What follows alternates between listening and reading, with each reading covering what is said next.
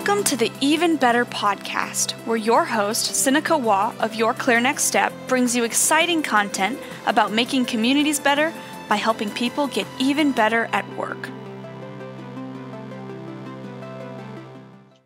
Well, welcome everyone, and thank you so much for joining us. This is Sinikka Waugh with the Even Better podcast. This is part of our ongoing mission at Your Clear Next Step to help people have better work days so that together we can co create better communities. So, this is the Even Better podcast. I am so delighted to have my friend Daniel McCraine with us. Daniel, thank you so much for being here today. Oh, I'm so delighted that you reached out and invited me. I've been looking forward to this for a long time. Yeah, we've been planning this for a while. I'm glad that it finally we finally got our schedules to align. So, for those of you who don't know Daniel McCraine, he's based here in the central Iowa area. Just, I've had the wonderful opportunity to get to know Daniel these last several months, uh, going on a little more than a, a, year now. I think that we've been in uh, similar networking groups and, and I've just had the opportunity to connect. And I love his heart for helping business owners just be more successful and be more capable in their space. And it's it's so wonderful. So for those of you who don't know Daniel, he's the founder of McCraine Associates, a business and marketing strategy company here in Central Iowa. Daniel's work has helped companies save or make over 22 million in capital and expenses. So that's like real dollars. We're, we're not, this is not just a, a mom and pop sort of idea here. This is he finds real money and make over 22 million in capital and expenses. And he's referred to as the maestro of business. I love that phrase. So he's a leadership and business coach, nationally recognized award-winning training professional. Uh, you have seen some of his stuff perhaps on a variety of places. If you check out his website, you can see more of the, the places on ABC and Fox and CBS and Fast Company and here in Iowa, you encounter him with the Truth Networks and others. So just great places that we've seen Daniel around. And I am so delighted, Daniel, to, to have you share this time with our listeners. Thank you so much. Oh, you're welcome. I'm excited to talk about this topic too. Uh, when we started talking about how can we share five things that I've learned from my experience, I thought of this topic today. I thought this would be a great opportunity to talk about uh, and aligned with your purpose. How can we make everyone's workday better by talking about one of my favorite things to talk about, music. Music and this is so great. So I, I i'm so intrigued by your by your title here. It was five things you learned about business from conducting an orchestra. Yes. Okay so we got to backpedal a little bit. So i've shared just a little bit of your bio but maybe tell us a little bit of your story and and how orchestra played into that so that then we can understand the rest of the connection Sure, sure. Well, I'm going to keep everyone in suspense here a little bit, I think, and I'm just going to give you the beginning and the end. So, I started my career as a band director. I actually have a master's degree in instrumental conducting. I taught music for nine years and skip through all the middle part. Now I am a business strategist. So, awesome. I'm going to connect those two things together in this talk, but I'm going to leave out that middle for a little suspense. I love it. I love it. Okay, so five things, let's get right to it then. Five things you learned about business from conducting an orchestra. So the first one you described is vision and planning.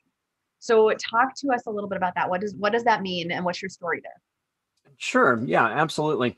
So we we're all aware that in business you need to have some kind of foresight, you need to have some kind of planning, uh, some kind of vision for where you're going to go in your business. So when I would prepare a piece for performance when I was conducting, there are a lot of decisions that an orchestra conductor has to make about the piece of music before you even set foot in the rehearsal room for the very first time.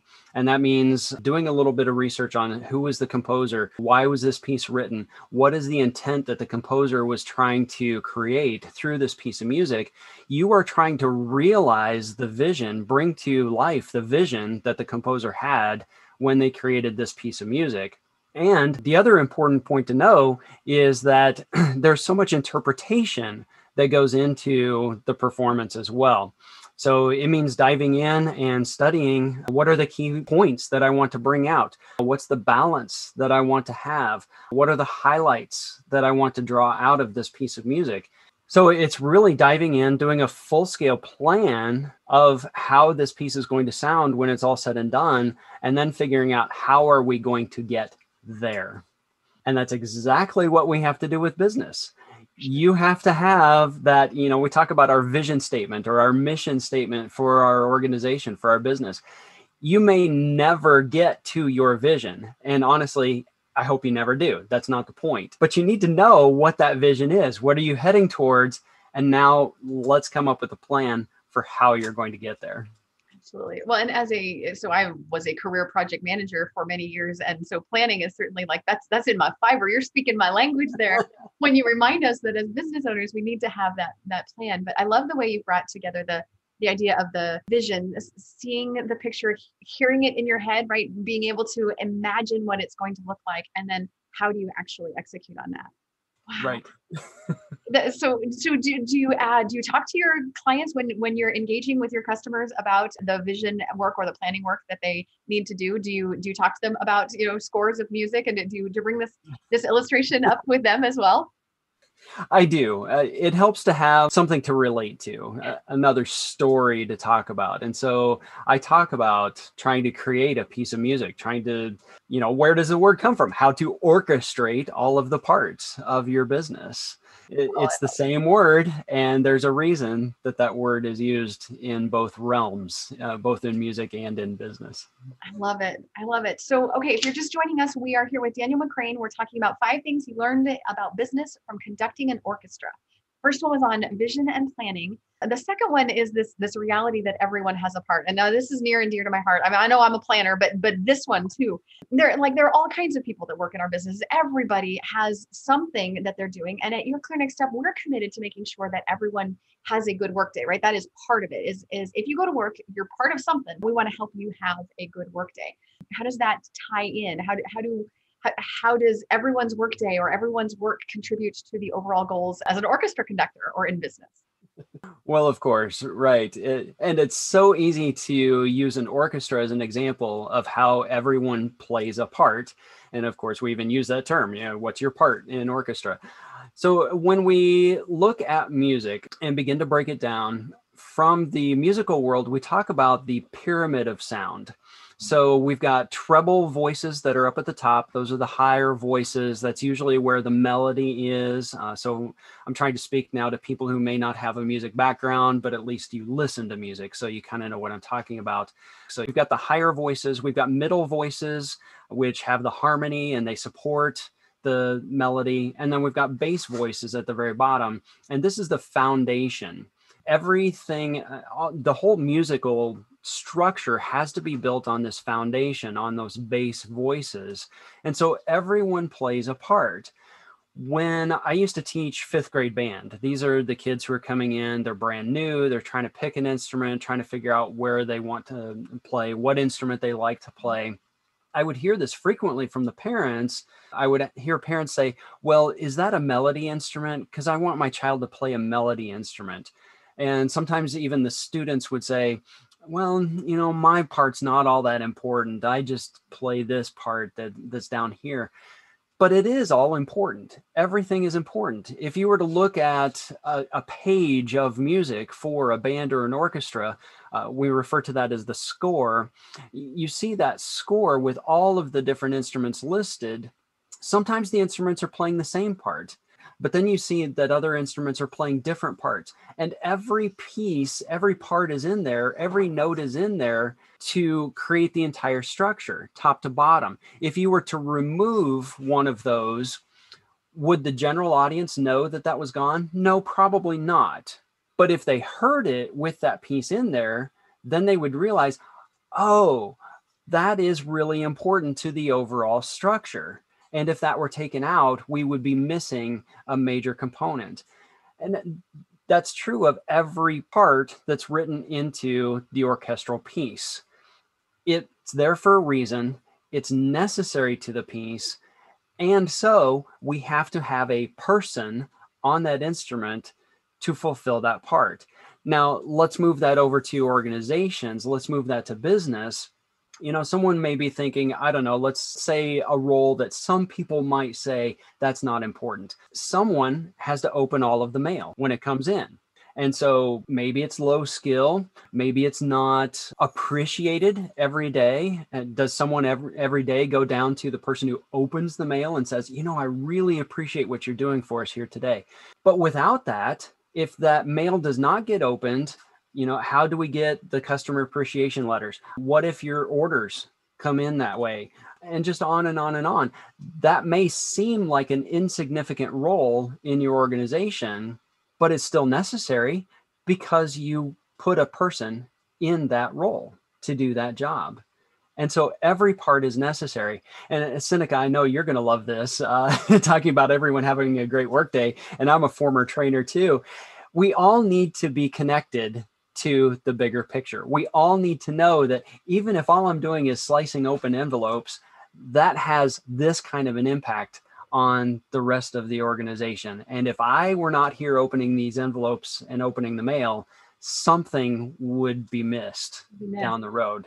Absolutely. Daniel, you're speaking my language here. Within the Your Clear Next Step structure and, and what we teach our clients as well is each individual, not only in our one-on-ones, not only do they have their roles or their description or their you know responsibilities or what you're supposed to do, but we have a conversation about do you understand how this organization needs you to do that? Do you understand how you really fit into our bigger purpose? Because if um, even with our interns, when we've got temporary college interns working with us, I still want to make sure that each person understands how the, the, role that you're doing without it, the overall structure of our organization doesn't work because you are integral to that piece. I love the I love the analogy of the orchestra orchestra on that. That's really beautiful.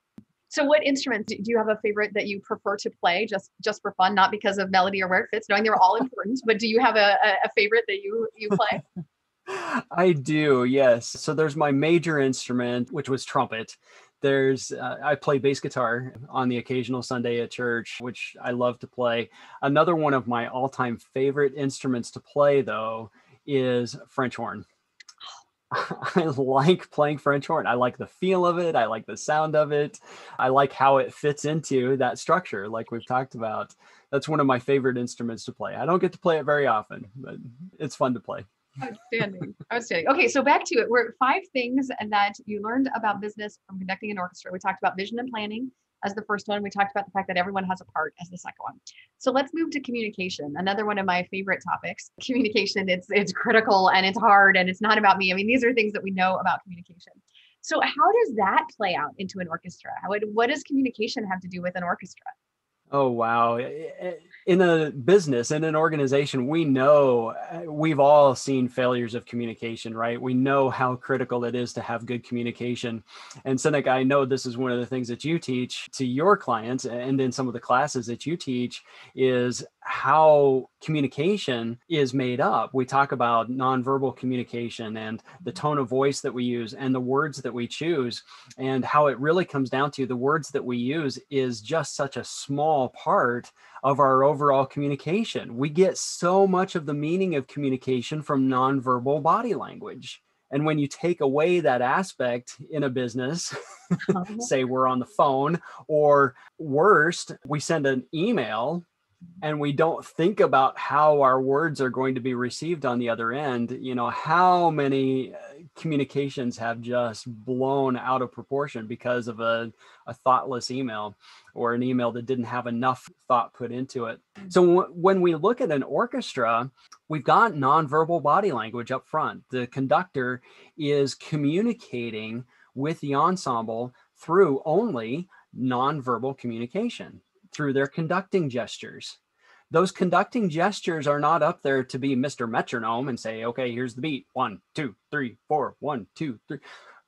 But there's more communication that's going on when you watch a skillful conductor in front of an ensemble on the spot in the moment they're saying hey a little more from you no a little less from you okay now let's really bring this up all together no let's back this off now and, and so there is a tremendous amount of nonverbal communication that's taking place, even when it's live, even when you're in a live performance. Mm-hmm. Things are changing and moving, and the conductor is making changes in the moment through their nonverbal communication. Beyond that, each of the members of the orchestra that are sitting there together have to know how to listen from one side of the ensemble across to the other side and listen to how did that instrument just play that part because I have the same thing coming up in a moment. I want to play the exact same way that they did. So there's nonverbal communication or in this case it is going to be there's going to be some auditory communication because it's music but that's coming from one side of the ensemble to the other so even the players have to communicate with each other or let's break it down and let's make it really intimate let's talk about chamber music or let's talk about a jazz trio or a jazz quartet who are constantly playing off of each other there's structure to the music that this jazz ensemble is playing, but a large portion of that is made up on the spot. So they have to be able to make eye contact and say, okay, your turn now. They need to be able to play out a, a melodic segment and then the drums or the piano have to be able to react to that. So there's a lot of communication that takes place in the moment all across the ensemble and every player is involved. And then we come down to looking at a piece of music on the stand. Mm-hmm. If you haven't been trained to read music, essentially you're looking at code on this piece of music. Mm-hmm. And only so much can be communicated through musical code. A lot of the the rest of it I mentioned earlier is prone to interpretation the composer can only say so much on the page. They can give you indications about make it louder here, make it softer here, but those are just indications. The performer has to be able to interpret that. And now we have to try to take this code that the composer has communicated to us and make something of it in real life. Fascinating. So, my older daughter plays the violin and the viola. And as she was learning the viola the the translation she reads music but she she has to read a different clef right? It's a different key signature now. And, and so she's got to read the viola clef. And okay that learn a new code right? Learn to decode those and, and translate the note that you see on the page into what you do with your hands and how you produce sound with your the position of your fingers and the bow on the on the instrument so learning that code. And then thinking about you know just how much fun it is to watch her in the college community orchestra that she plays in and watching the conductor and and you did exactly what you're describing there with a little bit more from you a little bit less from you or bring it all together now and and he's uh, highly animated. And then watching in chamber she's she's also in a chamber group that when she plays in the chamber that they're they're without that and sometimes in business right? We're without a specific leader. The leader the the business owner the executive is not in the room with us. But we as team members have to communicate amongst each other, right? We have to lead ourselves, if you will, through that particular event. What a what a beautiful, beautiful analogy. my gosh, so this is I could go all sorts of directions. We better just keep moving. So, thinking about five things you learned about business from conducting an orchestra, we talked about vision and planning, and everyone has a part, and communication. Let's talk about harmony and dissonance. Those are terms that I'm familiar with. I come from a musical background. Not everybody does. So hopefully you'll define those. But what is what what do you mean about harmony and dissonance? Harmony seems pretty self-evident, but maybe you can clarify more. And then how does that play out in business? Sure. Right. So uh, let's take the musical terms first of all. And I think for those two terms, most people may understand how to apply those at large to life. So, harmony, things are coming together, things are working. So, whether we're on a team or uh, maybe it's family unit, but things are working really well together. We're all on the same page, so to speak. Things are all coming together and working well. Dissonance then would be where things are not working well together. Our team can't seem to come together. We can't figuring out what we want to do at the same time. We've got disagreements going on. So there's some dissonance there. In music, if you listen very, very closely, music is made up of both. We have to have both. We want harmony where all the notes in a stack from top to bottom all sound really nice together. Mm-hmm. And those are really good moments. Think about maybe a slow piece of music and you hear a really nice chord and you just think, ah, oh, I love that chord. It's not the harmony that drives the piece of music, though. It's the dissonance. It's those notes that don't quite align together and they give us just a little bit of an edge. And when we hear that dissonance in a piece of music, there's something in us that wants to move past it because, of course, we don't like dissonance. We all want to be in harmony. So when we hear that, we want to hear a change in the music. And then when we come back to that harmony, then once again, we get that feeling of, ah, oh, everything's right again.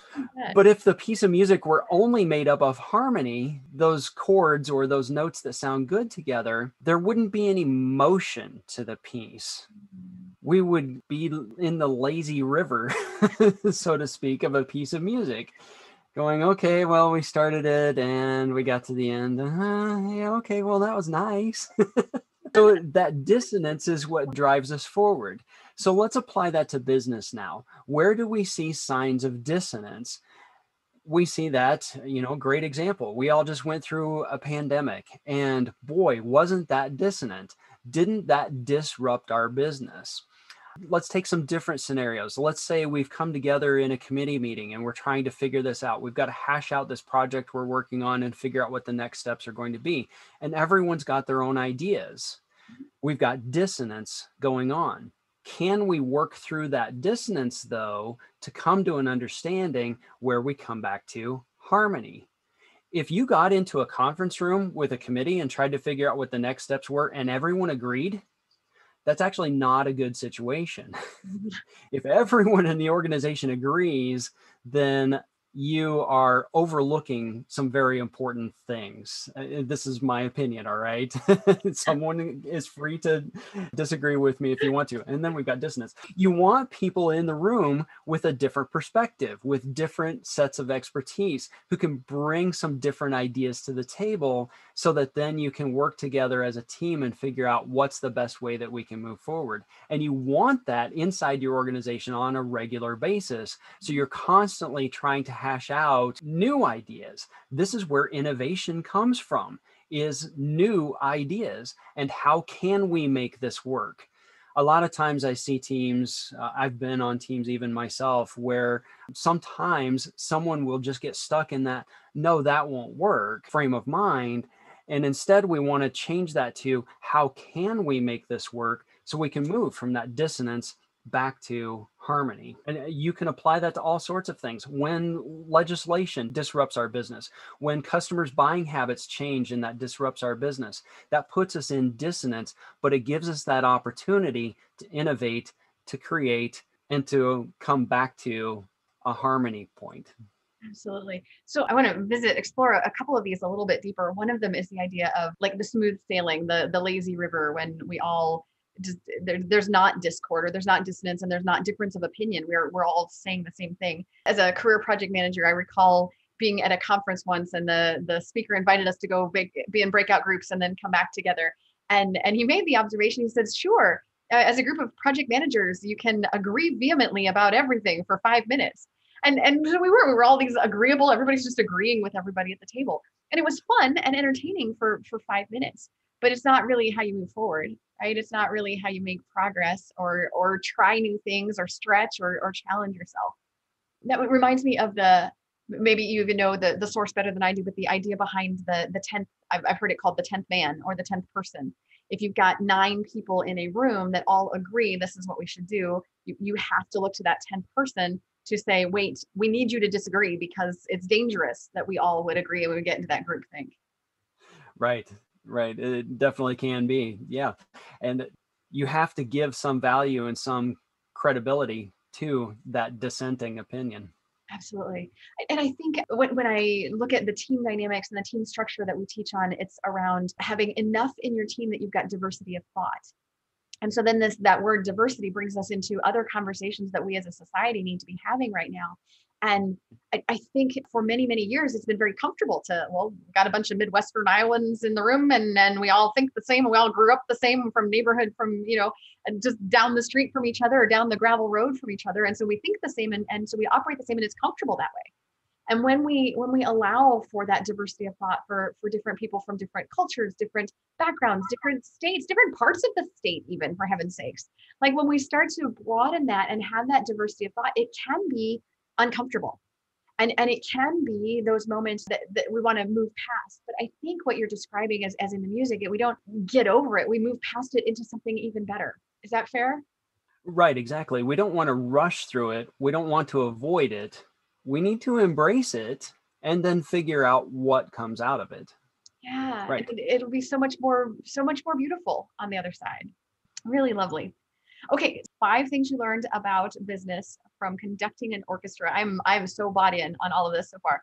So vision and planning, everyone has a part. Communication, and the fourth one was harmony and dissonance. And we're moving on to the last one, which is who's responsible. This is this is interesting. So who who is responsible in an orchestra, Daniel? Oh, yeah. And I chose this point especially because responsibility, who's responsible, accountability, uh, this is where we can start talking about job roles and responsibilities. This is very near and dear to me, uh, coming from some doing some training in some corporate uh, settings around town here where we are. Everyone needs to know what their responsibility is. This is why HR people spend so much time crafting job descriptions. So if you're the leader and you're working with HR and they're really asking you tough questions about the job description and the roles and responsibilities, don't get frustrated with them. they're doing this for a reason. it's because when someone moves into that role, into that job, they need to know, they need to have very clear boundaries. This is what I'm supposed to do and the rest of it is not what I'm supposed to do. That's someone else's responsibility. That is so important to know. So let's go back orchestra. Let's talk about our treble voices and our middle voices and our bass voices in that pyramid of sound and who's responsible for what you might think that it's important for those melody voices at the top. You might think, oh, that's really important. They really need to bring out the melody and we need to hear that loud and clear. Absolutely, we do. Here's what a good conductor knows the melody will always come out. You never have to overemphasize the melody. What a good conductor knows is that we need to reach into the middle. Those middle voices are the ones that need to be brought out and you need to spend a lot of time working there. Even the bass voices at the bottom. Look at an orchestra, a string orchestra, and you'll notice it is very top heavy. We have a lot of violins, we have a few violas, we've got fewer cellos, and we may only have two or three basses in mm-hmm. an orchestra because those basses are going to come through. They are supporting there. But if you listen to an orchestra, how often do you hear that viola part? How often do you hear that cello part? You really have to work hard to bring out those inner parts. So now let's talk about who's ultimately responsible in the organization.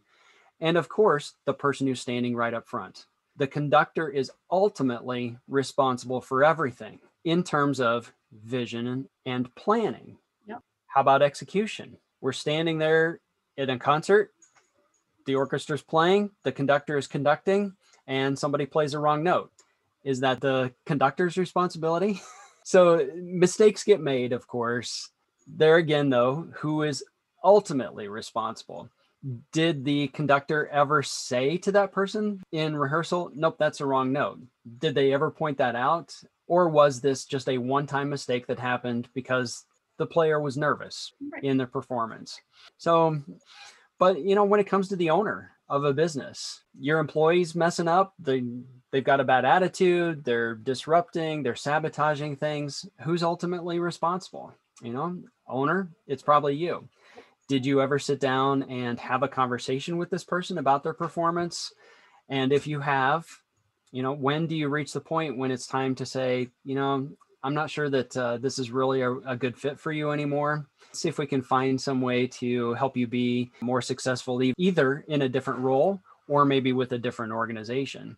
And I've talked with so many people, Sinikka, I'm sure you have too, who have said, you know what, I let it go on for way too long, for much longer than it should have. It really worked out best when we finally decided to part ways. So ultimately, owner, of a business, if things are not going the way that you want them to go in your business, who's ultimately responsible? You are. Yep. You know, if I'm the orchestra conductor standing in front of the orchestra and they don't sound the way that I want them to, who's ultimately responsible? It's me, the conductor. For sure.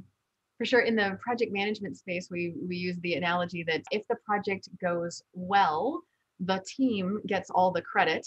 And if the project goes badly, the project manager takes the blame and and there is truth there right? So it mm-hmm. just as if you're leading a business if the business is doing well then credit goes to every member or the, if the orchestra sounds great credit goes to every member of the orchestra everybody who's playing a part and doing what they're supposed to do and contributing to the richness of of this experience. And if it goes badly somewhere along the line the conductor the business owner the project leader the the leader somewhere we, we dropped a ball. We, we let someone down. We didn't clarify expectations. We didn't equip someone with the tools or the skills or the practice that we needed that they needed. We we own it. We we let them down. And ultimately if it goes well everybody gets the credit. But if it if there's a problem i i got to take the blame on that one. Yes very true. To your point about the roles and responsibilities and the the job description right? How many people in corporate america take their job description and just put it in a drawer? Like i don't even want to look at this thing. But i remember a an article or a, somebody who, who shared the message that the vast majority of us in the workforce we really just want to know what is expected of us and how are we doing compared mm-hmm. to what's expected and and you can't have a conversation with someone about their performance about how well they're doing compared to expectations if you haven't stopped and had here's the expectation. Here's your here's your role. Here's your job description. Here's the here are the boundaries. Here's your sandbox. Here's what i expect of you and and maybe a dialogue to say what do you expect of yourself as well so that we're, we're doing that together. But if we don't start there we can't hold someone accountable. No no. Uh, too often we don't tell our team members this is what good performance looks like and so a lot of times our team members are left to their own devices to try to figure something out. And all they have to do is experiment. So they try something and, and they get in trouble. We slap their hands and they say, oh, okay, so don't do it that way. But they still have to figure out how they should be doing it. So tell them what good looks like. And that's part of the job description. So when I'm the conductor and I'm teaching my students, I have to give them that instruction. What good sounds like. No, I want you to play it like this. No, I want you to play with this kind of a tone. Yep. And and and then help them help them practice it, help them have opportunities to to try and and celebrate them when they when they do it right. Yes. Oh, this is lovely. So, my background is in literature. And so, in the same way that you draw these parallels out of music, I have found similar parallels in literature. And it's it's so fun to, to see this from yet another angle where that that liberal arts education or that background in something other than math and science or even math and science and language you, you get something else and you bring this richness of the artistic and the creative experience. So if you are looking, I'm, I'm now going to make a plea out to anyone who's listening to this and you're thinking, oh, I want to someday run my own business or I want to have a, a leadership role in a business organization. Don't limit yourself to just business classes, right? Get that richness of uh, of, of literature, of art, of music, and, and enrich your experience because you will come out a stronger, better, wiser leader because of it. Absolutely. I'd reiterate all of that, Sinikka. Yay. Well, we are coming down to time here. And one of the questions that I always like to wrap our interviews up, because this is the Even Better podcast, is Daniel, what is making you even better these days? What is making me better? Just as if I were a musician and I'm trying to grow in my music, I am going to go find a teacher. I'm going to go find someone who can teach me technique and teach me the music who can help me to grow. They're going to give me the insight, the wisdom, the experience. They're going to be that outside perspective for me to help me figure out where to go next. But then also give me that perspective of, you know, hey, cut yourself some slack. You're not going to be perfect yet. not the first. it's going to take a little time to work on this. So I do the same in my business too. Even though I'm doing coaching and consulting with other business owners, I rely on a business coach myself. Mm. There are things that I need to learn about business where I am not an expert. One of those things where I am not an expert is in the area of sales. I am actually working with a sales coach to help me in my business. So I have people watching out for me. I have my own informal board of directors, so to speak, who I can call on anytime and ask for advice, ask for their input into growing my business. That's what I do. I rely on outside perspective because I have to realize I don't know it all and I need to reach out to people who are experts in their own fields and ask them for their input and their guidance. Thank you. That's awesome. So, as we bring this to a close, Daniel, I'm so grateful for your time. So, one of the things that I know you do is that you reach out and you help those hurried and worried and buried business owners, help them really grow and find more success in their business. If someone wanted to reach out to you, Daniel, what's the, the best way for them to reach you? Sure. Well, there's a number of ways they can do that. And thank you, Sinikka. Phone number would be one great way to do that. And so my phone number, that's 515 992 9444. Email would be another great way to do that. And you can reach me, Daniel at mccraine.com. You can also check out my website, which is fixthisbiz.coach would be another great way to reach out to me. And then you can get some more information about how I help some of my clients on that website. Wonderful. Thank you so much. Daniel, it's been such a joy to spend this time with you. Thank you for indulging us in this conversation and thank you for taking us on this musical journey. I am super grateful. Oh, well, thank you, Sinikka. These are things that I've talked about in pieces with clients and with other people that I work with. I've never had a chance to put it all together in one conversation like this. This was a lot of fun. Thank you. It was a pleasure. And for all of you who are listening in, thank you so much for listening in. And this has been the Even Better podcast. And on behalf of all of us here at Your Clear Next Step, we hope the rest of your day is even better.